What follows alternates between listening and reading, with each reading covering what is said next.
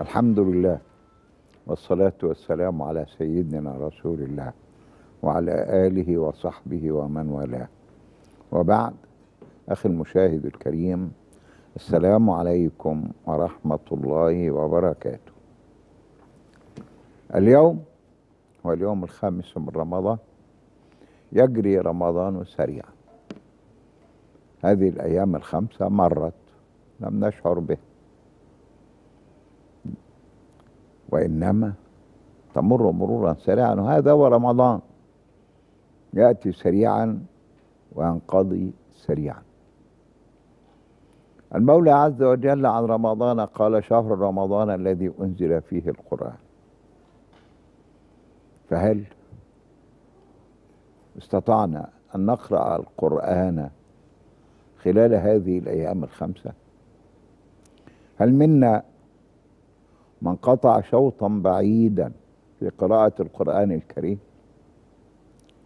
هل منا من استطاع أن يختم القرآن الكريم في هذه الأيام الخمسة؟ لا شك أنه هناك من المسلمين من استطاع أن يفعل. ولكن ينبغي أن نغتنم هذا الشهر المبارك الكريم لنعيش مع القرآن. وليكون القرآن دائما ربيع قلوبنا ونور صدورنا وجلاء أحزاننا وهمومنا وغمومنا. إذا ما أصابكم أرق أو ألم أو اضطراب أو قلق أو اكتئاب فعليكم بكتاب الله. كتاب الله دائما هو الملاذ والملجأ والمأوى والمرجع. ونبينا صلى الله عليه وسلم قال لنا من أراد أن يكلمه الله فليقرأ القرآن. من منا لا يريد أن يكلمه الله سبحانه وتعالى؟ تلك درجة عالية ومنزلة سامية ومقام رفيع ذلك الذي يجلس ليكلمه المولى سبحانه وتعالى. إذا قراءة القرآن في شهر القرآن واجبة. وينبغي أن نهتم بها وأن نعيش معها. وأن يكون القرآن دائما موجهنا. يأخذ بأيدينا إلى الله سبحانه وتعالى. وأقول للمشاهدين جميعا إذا حزبكم أمر أو شق عليكم أمر أو أتعبكم أمر أو أجهدكم أمر فعليكم بكتاب الله. الجو إلى القرآن. تستريح نفسا وقلبا وضميرا ووجدانا وحياة. ولم لا؟ والمولى عز وجل قال لنا والذين آمنوا وعملوا الصالحات وآمنوا بما نزل على محمد وهو الحق من ربهم كفر عنهم سيئاتهم وأصلح بالهم. الذين آمنوا وعملوا الصالحات في كل مناحي الحياة مش بس بيصلوا بيصوموا بيزكوا بيحجوا لا. الصالحات في المصنع والصالحات في المتجر والصالحات في المدرسة والصالحات في الجامعة والصالحات في المشغل والصالحات في في في في المعمل والصالحات في كل نواحي الحياة. تلك هي الصالحات. الصلاة والصيام والزكاة والحج تلك الحد الأدنى من الصالحات. إنما الصالحات كل عمل يبتغى به الخير وجه الله سبحانه وتعالى. عشان كده قال لنا الذين آمنوا وعملوا الصالحات. وآمنوا بما نزل على محمد. ما الذي نزل على محمد؟ هو القرآن الكريم وكتاب الله العظيم والذكر الحكيم والذي يأخذ بأيدينا إلى الله سبحانه وتعالى. يجعلنا دائما في أم في مأمن من الخوف. نعيش دائما في في الرجاء. يحدونا دائما الأمل فأن نجتاز المحن والشدائد والمصائب والكوارث إذا ما ارتبطنا بكتاب الله سبحانه وتعالى. وآمنوا بما نزل على محمد والقرآن الكريم. الله سبحانه وتعالى يغفر لهم ذنوبهم. ليه؟ لأنه سيدنا النبي قال لنا من قرأ القرآن فله بكل حرف حسنة. والحسنات بعشر أمثالها. لا أقول ألف لام ميم حرف ولكن ألف حرف وليم ولام حرف وميم حرف. تخيلوا بقى اللي بيختم القرآن يبقى خد كام مليار حسنة. كل حرف بحسن بعشر حسنات اجمعوا بقى الحروف اللي في القرآن الكريم عددها كام؟ في عشرة. يبقى جمعنا مليار الحسنات حين نختم القرآن الكريم. وهو الحق من ربهم كفر عنهم سيئات محى الخطايا والأوزار والذنوب. لأنه زي ما قلنا كل حرف بعشر حسنات. يبقى لما ينزل عشر حسنات هيتمسح قصادهم عشر سيئات. يبقى إن شاء الله بإذن الله هنخرج من ختم القرآن. ليس علينا أوزار ولا خطايا ولا سيئات ولا ذنوب. اتمحت الذنوب والخطايا والأوزار والسيئات. كفر عنهم سيئاتهم وأصلح بالهم. يعني روق باله بلغتنا كده روق باله. ونحن في زمن أحوج فيه إلى إصلاح البال وإلى إصلاح الحال ولن يكون ذلك إلا بالاستمساك بكتاب الله سبحانه وتعالى. والعيش مع كتاب الله سبحانه وتعالى وأن يكون كتاب الله دائما هو الذي يأخذ بأيدينا إلى الله سبحانه وتعالى. هيجي حد يقول لي آه ما أنا ده أنا قاعد أقرأ قرآن طول الوقت. لا ابدأ الأيام الأول. الذين آمنوا وعملوا الصالحات الصالحات في كل ناحية من نواحي الحياة في كل أمر من أمور الحياة في كل شأن من شؤون الحياة. القضية مش مش إن أنا بعمل صلاه من وجهة نظري أنا لا من وجهة نظر الدنيا والحياة والمجتمع ومن وجهة نظر المولى سبحانه وتعالى بعمل صالح ولا لا. ما هو في كتير بيظن هم عملوا صالح وهم عملوا فاسد وسيء وشر وأذى وسوء ومكروه. فهنا العمل الصالح دائما يرفعنا إلى الله سبحانه وتعالى يجعلنا في كنف الله سبحانه وتعالى. يجعلنا في رعاية الله سبحانه وتعالى. يجعلنا دائما نعيش المولى مستجاب الدعاء. لأنه إذا كنا نعيش حلالا وناكل حلالا ونشرب حلالا وحياتنا كلها حلال لا شك أن المولى عز وجل يستجيب لنا. وسيدنا معاذ بن جبل بيس سيدنا النبي صلى الله عليه وسلم بيقول له يا رسول الله ما بالنا ندعو فلا يستجاب لنا. بندعي ما بيستجابش. لا يستجيب المولى سبحانه وتعالى. سيدنا النبي قال له ليه؟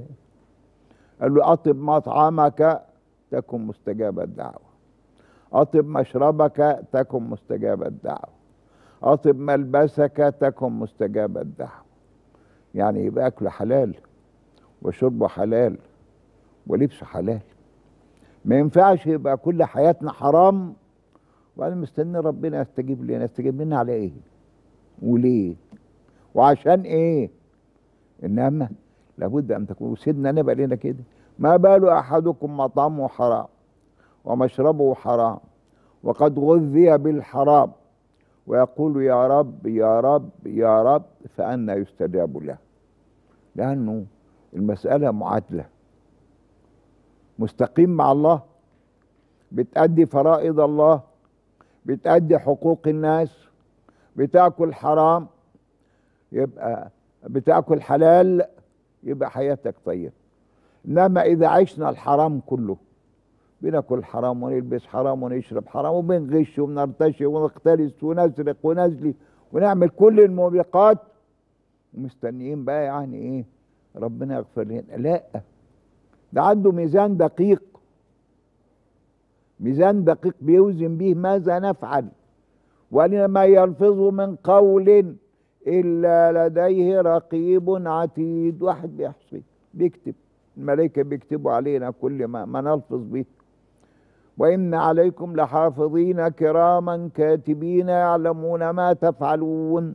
بيسجلوا عليكم كل عمل وكل أمر وكل ما تتفاهمون به. عشان كده بنقول محتاجين الاستقامة في كل أمور حياتنا عشان ربنا يستجيب لنا. يبقى خلقنا عشان نعبده. والعبادة ما هياش صلاة وصيام وزكاة وحج لأنه بعض ضيق العقول قال لك لا ربنا قال وما خلقت الجن والإنس ليعبدون. أنا هتفرغ العبادة لا سابوا مدارسهم وسابوا جامعاتهم وسابوا أعمالهم وقعدوا يتفرغوا قال للعبادة هذا فهم ضيق وفهم غبي للإسلام. الإسلام أوسع وأعمق وأعظم من هذا. كل عمل ينفع الناس ويبتغى به الخير وجه الله في المجتمع هو عباده اسمعوا بقى. سيدنا النبي صلى الله عليه وسلم قاعد في وسط أصحاب مر عليهم شاب ما شاء الله فتوه في صحة وعافية. الصحابة قالوا لو كان هذا في سبيل الله قصدهم الحرب في ميدان الجهاد والقتال للدفاع عن الإسلام. فسيدنا النبي قال لهم لا تقولوا هذا. إنه إن كان خرج يسعى لاولاد صغار فهو في سبيل الله. وإن كان خرج يسعى لابوين شيخين كبيرين فهو في سبيل الله. وإن كان خرج على نفسه يعفها فهو في سبيل الله. بين سيدنا النبي إن كل الكفاح والجهاد والعمل في الحياة لنسر الحياة ونستغني ولا نمد ولا نمد أيدينا إلى أحد وإنما نجتهد في بناء مجتمعنا في بناء حياتنا في تحقيق الاستقلال في عدم مد أيدينا إلى أحد. كل ده عبادة. وسيدنا النبي لما مر على راجل في الجامع في المسجد في الصبح وفي الظهر وفي العصر وفي المغرب وفي العشاء. قال لهم إيه ده؟ قالوا نذر أن يتفرغ العباده قال لهم من بيعوله؟ قالوا كلنا يا رسول الله. قال كلكم أفضل منه. أيوه يا خالد. السلام عليكم. عليكم السلام ورحمة الله وبركاته. أهلا والله يا شيخ الحاجة آه، ما بتصومش. نعم. الحاجة ما بتصومش نتيجة لمرضها. آه. مريضة. آه. فهتطعم عن كل يوم مسكين. مسكين وجبتين. فصعب إنها تلاقي كل يوم مسكين. وجبتين فطور وسحور طيب ال- ال- السؤال مم. ممكن تطلع المبلغ على بعضه لمسكين واحد مرة واحدة؟ لأن كل يوم آه الجمعيات كلها. دلوقتي عاملة حاجة اسمها إفطار صائم في الجمعيات. بياخدوا آه المبالغ ويفطروا بيها صائمين. جمعية طب إحنا آه كل الجمعيات اللي في مصر الآن عاملة إفطار صائم.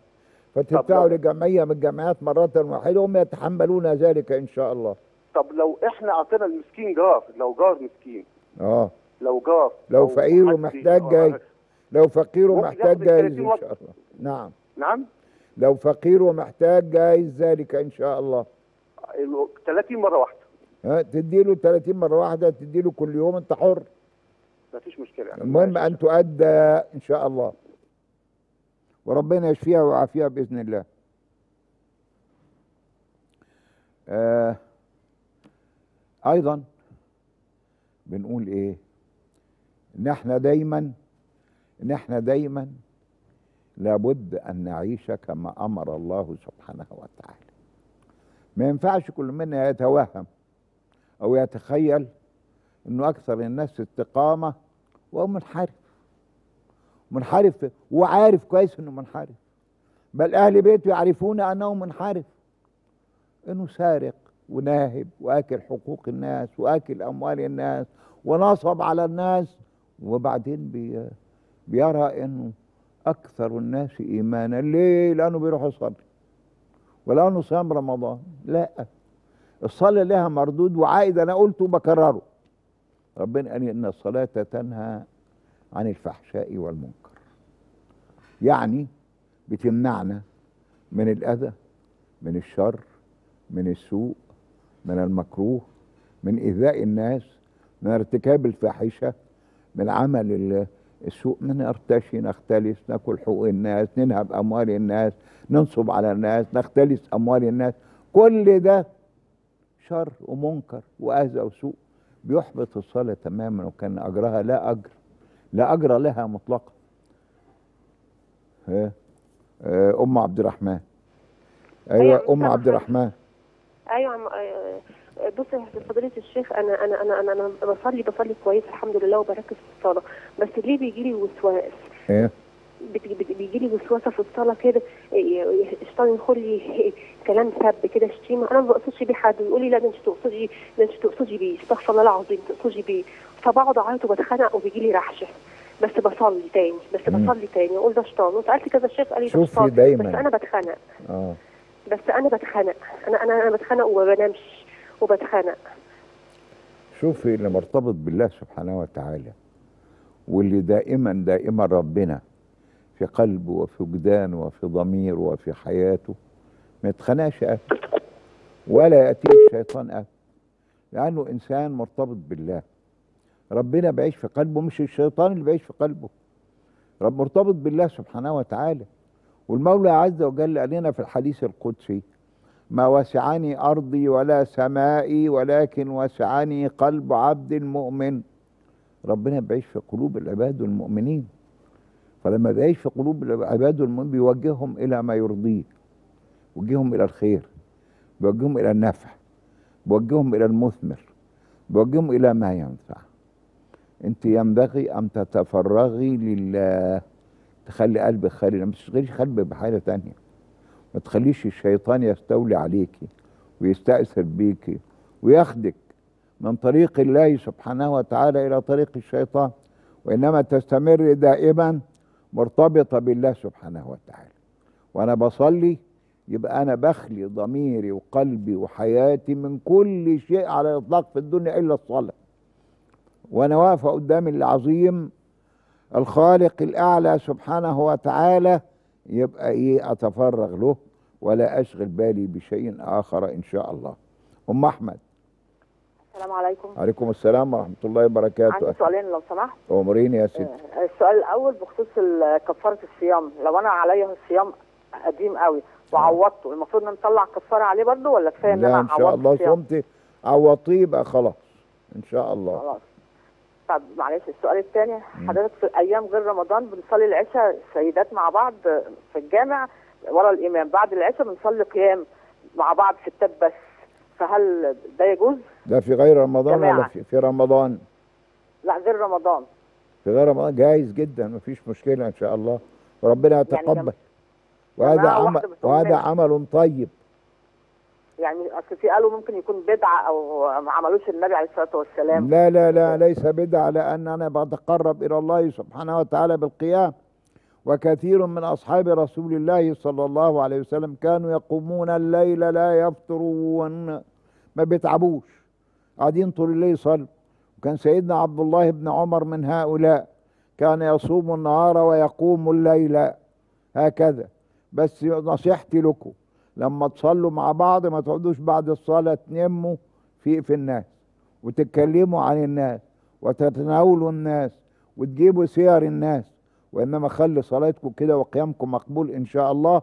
لأن سيدنا النبي صلى الله عليه وسلم لما قالوا له إن فلانة تصوم النهار وتقوم الليل ولكنها تؤذي جيرانها بلسانها قال أخبروها أنها في النار.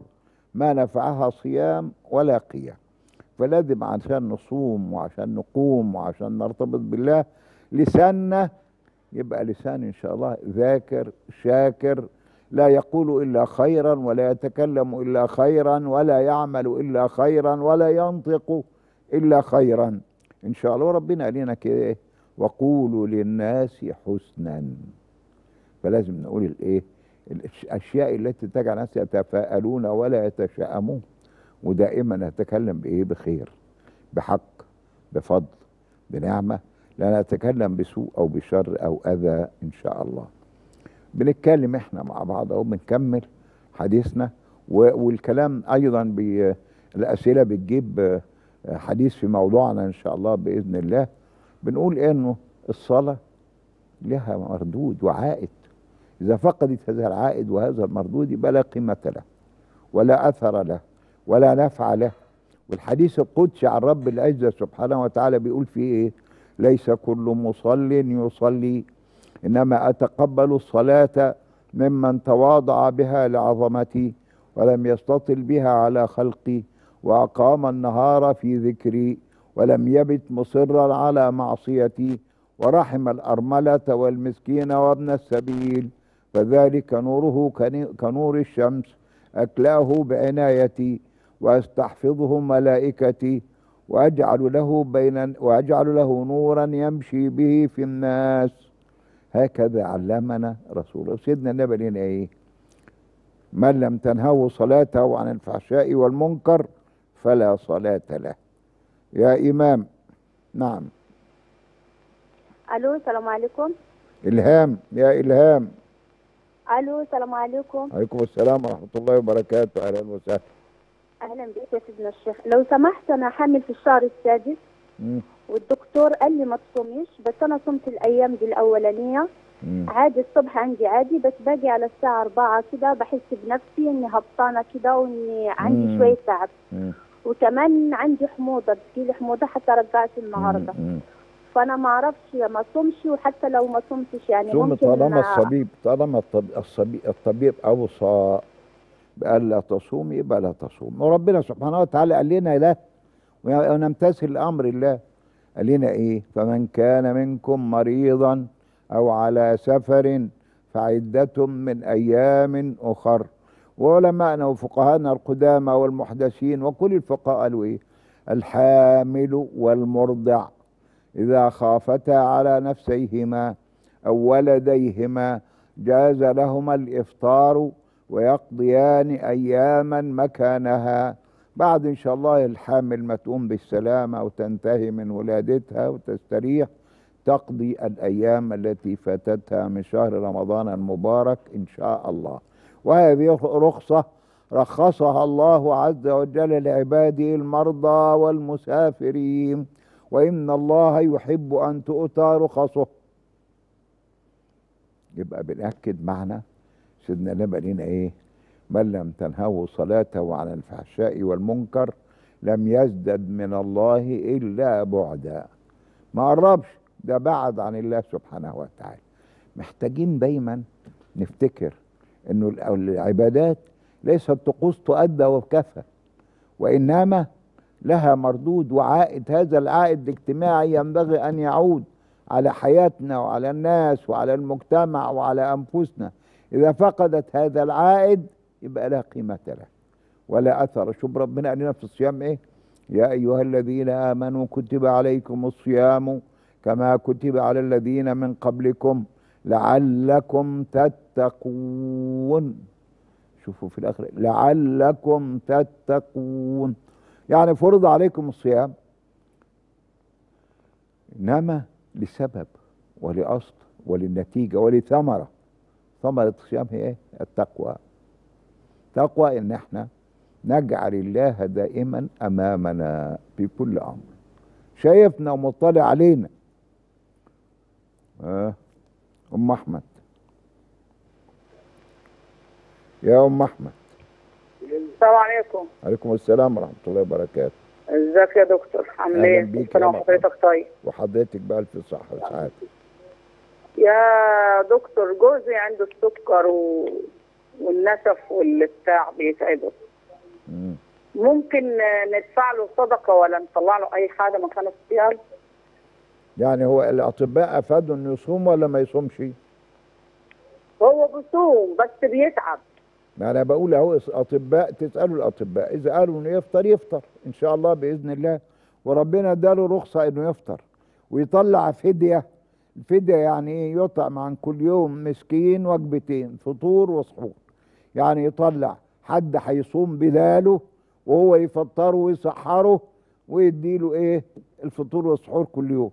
إذا كان لا يستطيع الصوم وإذا أفاد الأطباء أنه لا يستطيع الصوم وأن الصوم سوف يضره ويؤذيه يبقى عليه أن يفطر ويطعم عن كل يوم مسكين وجبتين فطور وسحور إن شاء الله بإذن الله. بنأكد معانينا اللي إحنا بنقولها لما ربنا قال في الصيام إيه لعلكم تتقون.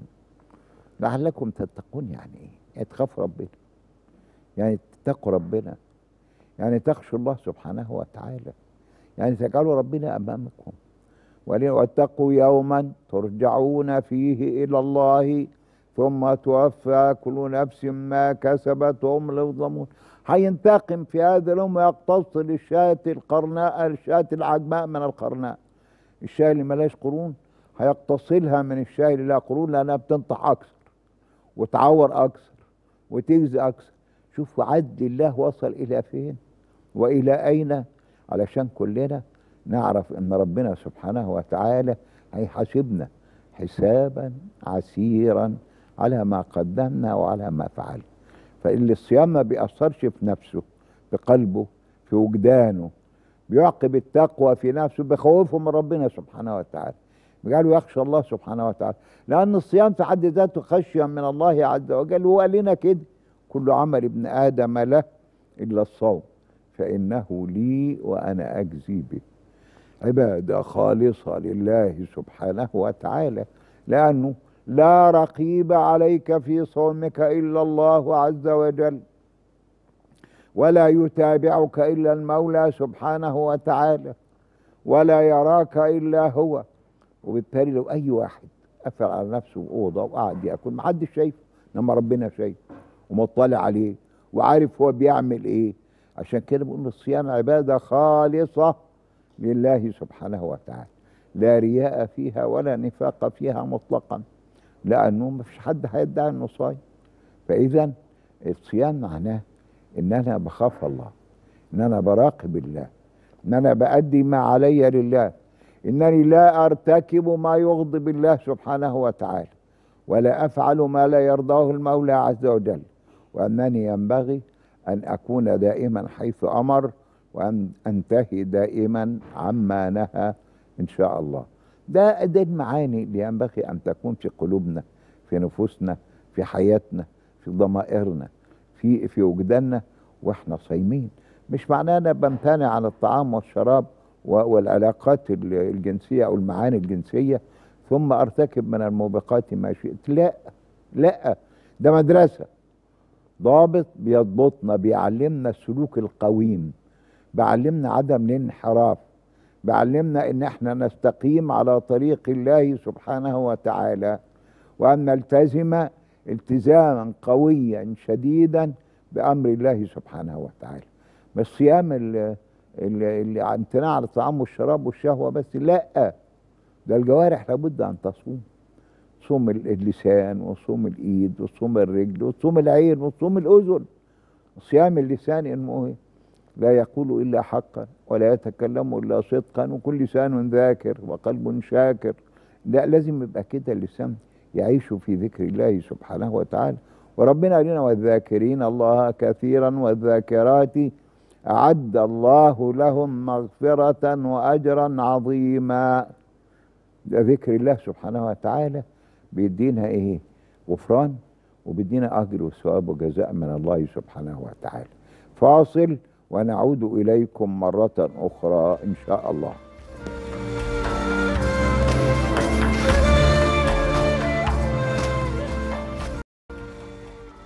عدنا إليكم مرة أخرى. عندنا سؤال سائلة بتسأل بقول لو أنا نسيت وأنا بصلي أنا في الركعة الكام؟ أحسب من الركعة الكام. بقول لي السائلة الكريمة وإحنا بنصلي إذا نسينا. دي التالتة ولا الرابعة تبقى التالتة. يبقى بنبني على الأقل. يعني ست دول اتنين ولا تلاتة يبقوا اتنين. أربعة ولا تلاتة يبقوا تلاتة. وكمل على ذلك ثم بعد التشهد أسجد للسهو قبل السلام. إن شاء الله بإذن سجدتين كسجدتي الصلاة بسجدهم بعد التشهد وأسلم يمينا ويسارا علشان أكبر النسيان اللي أنا نسيته في صلاتي. وبقول لكل الناس ينبغي أن نركز في صلاتنا تماما حتى لا ننسى. لأن سيدنا النبي له حديث بيقول فيه ليس لك من صلاتك إلا ما عقلت منها. اللي أنت ركزت فيه واللي أنت عرفت هو إيه واللي أنت كنت حاضر البال والذهن والقلب والوجدان فيه إن شاء الله بإذن الله. سائلة أخرى بتسأل بيقول والدي عنده محل جزم ومحل ملابس هل تجب عليه زكاة؟ وكيف تحسب؟ مع العلم إن معظم البضاعة ملك للتجار وتسدد على أجزاء على فترات أنا بقول للسائله الكريمه إذا لم يكن له مال مطلقا وهو كل رأس باله المحل وبعدين بياخد من التجار بضاعة على أساس يبيع ويسدد إن شاء الله بإذن الله يبقى ليس لديه إلا الارباح إنما إذا كان له رأس مال بيبدأ من أول العام بيحسب رأس ماله كام. وبعدين يتنه يشتغل يشتغل لغاية ما ينتهي العام يحسب رأس ماله كام. كسب وبقى عنده أموال ويطلع كل مصروفاته بيشوف أرباحه كام في النهاية. هذه الأرباح بيطلع عنها زكاة اتنين ونص في المية إن شاء الله. إن شاء الله بإذن الله. إذا كان خسارة يبقى خلاص لا زكاة عليه بإذن الله إنما يزكي عن الباقي من رأس المال. يعني عنده رأس مال مئة ألف جنيه طلع آخر السنة تسعين يطلع عن التسعين. لما التسعين إن شاء الله بارك فيهم وبقوا آه، 170 150 يطلع عن المبلغ كله زكاة بعد ما يشيل كل مصروفاته ومتعلقاته وأجور المحل والكهرباء والإنارة و- وخلافه آه، يطلع زكاته بإذن الله سبحانه وتعالى. آه، عندنا بيقول هل يجوز أن أقرأ القرآن لوالدي وعلى قيد الحياة أو أو اهب له ثوابه؟ بقول للسائلة الكريمة لدنيا هاني بقول لها والدك يقعد يقرأ القرآن إن شاء الله نفسه طالما على قيد الحياة يمسك يتوضا ويمسك المصحف يقرأ قران وزي ما قلنا من من الآن له بكل حرف حسنة والحسنات بعشر أمثالها. لا أقول ألف لام ميم حرف ولكن ألف حرف ولام حرف وميم حرف. فالذي على قيد الحياة يقرأ هو يقرأ لنفسه ليحصل على الثواب والأجر والجزاء. إنما نهب ثواب القرآن لمن مات. حد مات وإحنا بن- بنحبه ومرتبطين بيه نقرأ القرآن أو نختم القرآن ونهب له ثواب. هذه القراءة إن شاء الله ليرحمه المولى عز وجل سبحانه وتعالى. سائلة بتسأل الدورة جات لي قبل رمضان بيومين وخل- وخلصت وطهرت ونويت الصيام أول يوم رمضان وللأسف قبل المغرب نزلت نقطة وتطهرت. وتكرر هذا الوضع وقت الأذان لمدة ثلاث أيام برمضان وقت المغرب فات تحسب لي الصيام أنا بقول للسائله الكريمه بتسأل الطبيبه أو الطبيب اللي هي متعودة آه، تتعامل معاه وبتقول له ده حصل هل هذا من الدورة ولا هذا دم استحاضه إذا كان دم الدورة أو دم الحيض يبقى لا صلاة ولا صيام. إنما إذا كان دم استحاضه يبقى تصوم وتصلي إن شاء الله. آه السائله بتسأل أو سائل يقول عندي مشكلة مع زوجتي ووالدتي. مش متقبلين بعض نهائيا ويوميا مشاكل. وحاولت اصلح بينهم كتير ولا جدوى. ولو فصلتهم عن بعض والدتي هتزعل مني وتغضب علي. وزوجتي عند أهلها ماذا أفعل؟ تحاول بقدر المستطاع أن آه، تفهم والدتك إن زوجتك لا غنى لك عنها وإن هي آه، الزوجة تعتبر ابنة لها إن شاء الله. وهي آه، أم أولادك يعني أحفادها هم أولاد هذه الزوجة. فينبغي أن تعاملها على إنها ابنتها وليست عدوتها وليست طارئه عليها وليست سارقة لابنها. وإذا فهمت هذا المعنى فهي قد سرقت أبوك من أمه قبل ذلك. فعاوزين نفهم الأمهات أو الحموات إن زوجة الإب ليست عدوة وإنما هي ابنة ينبغي أن نحتضنها. وأن تكون لنا بمثابة الإبنة حتى تعيش البيوت في سعادة وفي هناء وفي استقرار وفي هدوء. هذا رجل بيأكد حيرته بين أمه وزوجته. يعمل إيه؟ أمه مش راضية وزوجته عند أهلها وهو في حيرة. ماذا يفعل؟ فأنا بقول للامهات بلاش تضعوا أولادكم في حرجه تضعوهم في شر تضعوهم في سوء تضعوهم في مرارة. إنما ينبغي أن نحقق لأولادنا السعادة والاستقرار والهناء والسرور بأن نحتبي بأن نحب آه، زوجات أولادنا. زوجات الأولاد هيبقوا أولادنا وإن شاء الله بإذن الله هتبقى الحياة أطيب وأحسن بدل ما نغص على أولادنا حياتهم وننكد عليهم إن شاء الله. أيوة نعم. مروة أيوة يا ست مروة. السلام عليكم. عليكم السلام ورحمة الله وبركاته. أنا أنا أخويا كان أخويا كان بيقرأ قرآن باستمرار ومتابع المصحف. وبعدين فجأة تعب. ما بقاش بيعرف يقرأ. بس دلوقتي على طول سمع فاتح إذاعة القرآن الكريم. عايز أعرف إيه الثواب؟ ثوابه يعني برضو نفس ثواب القراءة ولا إيه؟ يعني إذا كان مش قادر ولم يستطيع وكان بيقرأ وهو مستطيع إن شاء الله وبيردد مع إذاعة القرآن الكريم أو بيذاكر مع إذاعة القرآن الكريم أو بيسترجع مع إذاعة القرآن الكريم يبقى إن شاء الله له ثواب القارئ وله أجر القارئ إن شاء الله سبحانه وتعالى بإذن الله. ونسأل الله له العافية إن شاء الله. آه عندنا سؤال أيضا بيقول إيه؟ آه سلمى بتقول أختي دايما حاسة بالتقصير تجاه أبي المتوفي ودايما بيجي لها وساوس إنها مقصرة في حقه مع إنها كانت بره به ومعطاء دائما وكثيرة الهدايا والزيارات له ولكن إحساسها بالذنب يكمن في أنها لم تكن معه وقت وفاته لأنها بمحافظة أخرى فكيف تتخلص من إحساسها بهذا الذنب؟ بقول للسائلة الكريمة أنه الوفاة ليس لها ميعاد محدد. يعني ربنا ما قالناش فلان هيموت الساعة كذا يوم كذا عشان نقعد ننتظر قدر الله سبحانه وتعالى فيه. وإنما آه، الوفاة أحيانا بتأتي فجأة وأحيانا بتأتي في مكان غير مكان وحتى لو مقيم فيه. وربنا قال وما تدري نفس بأي أرض تموت. فالقضية قضية أنه انتقل إلى ربه ولقي ربه راضيا مرضيا وأحسن إليكم ورعاكم ورباكم وعلمكم فينبغي ألا تحس بالذنب تجاهه لأنه انتهى أجله. وربنا قال لنا فإذا جاء أجلهم لا يستأخرون ساعة ولا يستقدمون الموت ما بيستناش حد ما بينتظرش لما بنته تيجي أو أو ابنه يجي أو أي حبيب من أحبائه يجي. وإنما بيأتي يأتي وقته يبقى انقضى الأجل ويذهب إلى رحاب الله. إنما اللي عليها تعمله عشان تبقى تبار بأبوها حتى بعد موته إنها تدعو له وتترحم عليه وتستغفر له وتبر أهله إخواته آه، إخوته آه، أولاد إخواته أولاد أخواته بحيث إنه يبقى البر موصول وقائم ودائم دائما وهذا يكون بر لأبيها وهي ينبغي ألا تحس ذلك لأن أجل الله حين يحين لا ينتظر إنسانا وليس هناك إنذار أو علامة تقول أنه الوفاة ستأتي في وقت كذا أو في ساعة كذا إن شاء الله.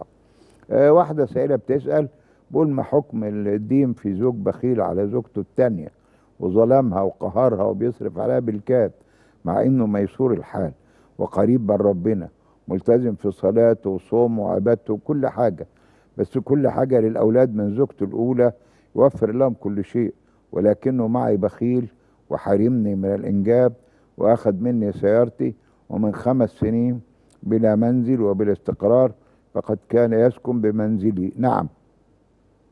فقد كان يسكن بمنزلي وسمح لزوجته الأولى وأولادها أن يتبلوا علي ويسيئوا سمعتي ومع كل هذا أنا أطلب منه الطلاق عملا في الصلاة.